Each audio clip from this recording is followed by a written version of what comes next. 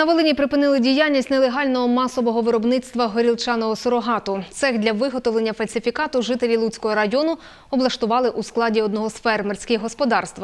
Інформує прес-служба головного управління ДФС в області. Процес незаконного виробництва співробітники податкової міліції спільно з прокурорами документально зафіксували під час обшуків на підставі ухвал Луцького міськрайонного суду. Правоохоронці в присутності понятих застали на гарячому трьох робітників, які розливали горілку. На території фермерського господарства виявили авто, яке використовували для розповсюдження фальсифікованої алкогольної продукції. З незаконного обігу правоохоронці вилучили понад 3 тисячі літрів готової горілчаної продукції та рідини для виробництва фальсифікату орієнтовною вартістю близько 800 тисяч гривень. 4 тисячі марок акцизного податку з очевидними ознаками підробки, виробниче обладнання. Наразі вирішується питання про призначення судових експертиз.